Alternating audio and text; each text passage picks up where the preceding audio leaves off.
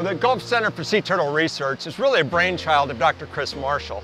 As part of our marine biology program at the Galveston campus, having the ability to, to care for these animals, and it's actually a fairly new capability. We just renovated an older building into a, a turtle hospital this winter. Sea turtles, being reptiles, uh, their body temperature fluctuates with the environmental temperature. So during a cold winter front that comes through, they can uh, undergo what's called a cold stun.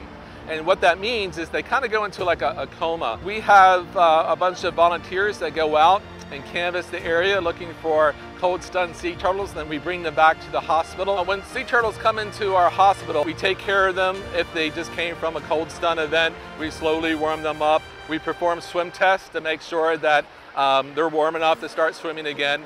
And then it's just a matter of getting into a daily routine, make sure they start eating. We released six green sea turtles today.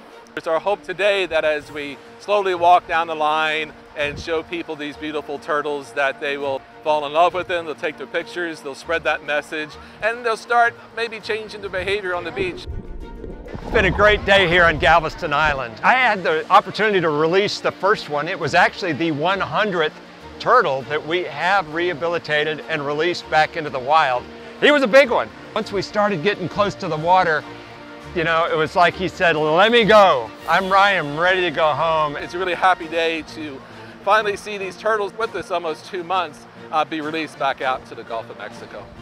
We own the blue economy and a big part of that is the sciences of the ocean, the animals, the interaction between the oceans and humans, this is what we do on the Galveston campus. These sea turtles are actually right here, you know, in our backyard. They're on the coast of Texas. The sea turtles are just a great symbol of our program.